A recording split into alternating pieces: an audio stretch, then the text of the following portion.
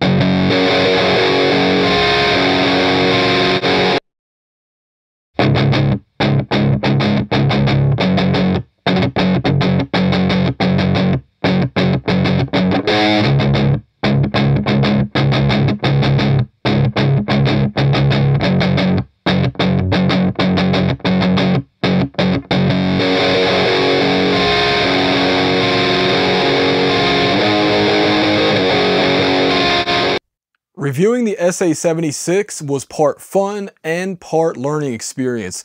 Prior to messing around with it, the only hardware compressors I've used were the Aphex 320D Compellor and the FMR Audio really nice compressor, so I had no idea what I was getting myself into before evaluating it. The first thing I noticed is that pictures don't do this thing jealous. On a computer screen, the hardware looks really small. In person, it's three and a half inches high by 19 inches wide. It is a big piece of equipment. With the 1176 plugins that I've used over the years, the attack and release controls are their fastest at the highest number. Well, on this unit, on the SA76, those controls are reversed. Now, Joshua, the owner of Stam Audio, said on Gearslutz that if a buyer wants to get the controls reversed, so back to the original spec, then he can do that. Speaking of attack, the timings go from really fast to ridiculously fast. 800 microseconds is the slowest attack time and if you consider that one microsecond is equal to one millionth of a second, that is very, very fast. The release control is a little bit more reasonable at 50 milliseconds on the fastest release time and 1.1 seconds on the slowest. Another thing I learned is to not trust the meter at all. I've heard that some engineers will actually tape over the meter or tape a piece of cardboard over the meter so that they don't get distracted by it. And that's because, again, the attack time on this is so fast that there's compression happening, but the meter's not picking up on it. So you really got to use your ears. Before unplugging the compressor from the wall, make sure that you hit that off button next to the meter.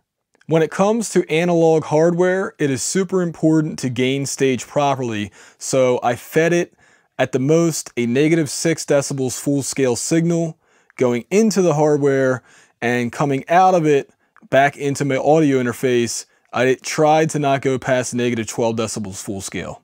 One trick you can do for tracks that are already recorded is to find the highest peak in your audio and play back just that section, put it on repeat, just to ensure that there's no unwanted distortion happening. One thing you can do with hardware that you can't with plugins is use two hands at once. So a couple of tricks to try out. Engineers love vocals set to the fastest release, and then you can set the attack time a little on the slow side. So a, a three o'clock on the SA76. Normally you would do like five on the real 1176. And also the all buttons in trick, put it on fastest release and a medium attack time.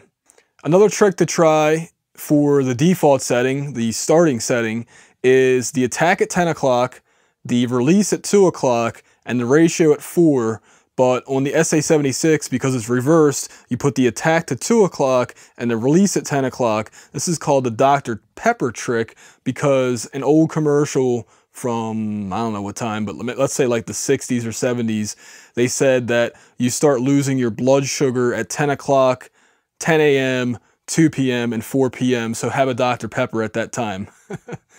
One thing I noticed about this compressor over my really nice compressor is that it's just got a lot of character. It has tone shaping abilities, and I especially loved it on the kick drum. As far as what I liked it on, basically what other engineers like it on, vocals, bass guitar, drums, uh, uh electric guitar, especially distorted electric guitar, um, I didn't really like it on keyboards. Maybe I had the settings wrong. I don't know, but I did not like it on keyboards, piano, whatever you want to call it. So uh, maybe I'll try it again sometime.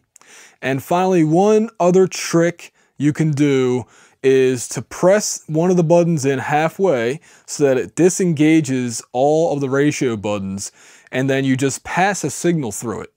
That way there's no compression happening, but it still has the transformers going on. People like that sound. I've heard it sounds good on a DI clean guitar track. I don't know. I didn't try that. I did try sending it on vocals. So it's just something to try. Also, the all buttons in trick isn't just for drums. People say try it on vocals. I did do it on the heavy metal vocal. Um, I didn't try it on bass guitar, I don't think, but I definitely did it on drums, and on drums it sounds awesome. Okay, so I said all the things I loved about the SA76. Now here's some of the bad. First of all, fingerprint smudges. This thing is a fingerprint magnet, and before I got the footage of the compressor, I tried using Windex on it, which I was told you can use for stainless steel, but maybe it's not stainless steel, it's brushed aluminum, so I, I don't know. But whatever the material is, the fingerprint smudges would not come off. Secondly, there are sharp edges. Now, if your gear is racked, if this thing is racked, then that's not going to be a problem, but I've actually cut my head on the uh, Delta 1010 for the same reason. So if the edges of the unit could be rounded off in some way, that would be nice. But uh, again, this is nitpicking. So the big question, if you already have an 1176 Blue Stripe plugin, would it be worth it to buy the hardware? And my answer is complicated because number one, we're talking about budgets. If you have a lot of money, I say go for it. Buy one of these things. You'll love it. Trust me, you'll love it. It'll look nice in your rack and you'll have fun with it, all right? But if your budget's tight, that's where I, I don't know if I could I could recommend it, but it is something to save up for because I do think workflow wise, if you compress on the way in with this, it'll save you some time while mixing. Um, I do believe you can shove more gain reduction with real hardware compressors over digital ones. Um, I haven't tested every single plugin that's out there, but that's my gut feeling is that you can get a lot, you can get more gain reduction. How much more gain reduction, I don't know, but I, I know you can get, you can squeeze a little bit more out than with ones and zeros with, with uh, audio plugins. Now, some downsides to hardware is that you have to process your files in real time. When I made all the files for this video, I had to sit there for the length of the song and play it through the hardware and then go on to my next mix. And, you know, I can't like, unless I take a picture of the hardware, I can't later on go back and redo something. So that's one thing to be aware of. Recall is an issue. And also it uses 10 watts of electricity, which is less than some LED lights. So that really shouldn't be that big of a deal, but it's something to be aware of. Also, hardware breaks down, just like computer hardware can. So that's something that plugins don't do, although plugins do become obsolete. Audio hardware, as long as you have an XLR cable or a quarter inch cable, you'll be good. If you are recording with this hardware, I recommend the 4 to 1 ratio with the slowest attack time. Release time I'd probably put on the 12 o'clock position, but you know, that's up to you. Would I recommend buying it? Absolutely. Look, if you want to get the real deal, it's going to cost you at least two grand. For $700, a little under $700 plus shipping and handling, you can get something that sounds awesome. Doesn't sound like a real 1176 revision A. I wish I could answer that for you. I can tell you just from based on its own merits, not knowing what the real deal sounds like, never working with the real deal, I like it. I, I like what it did to my audio when I do some serious mixes, I'm going to pull it out and I'm going to run audio through it. When I get an audio interface that has insert points, I will record with this compressor.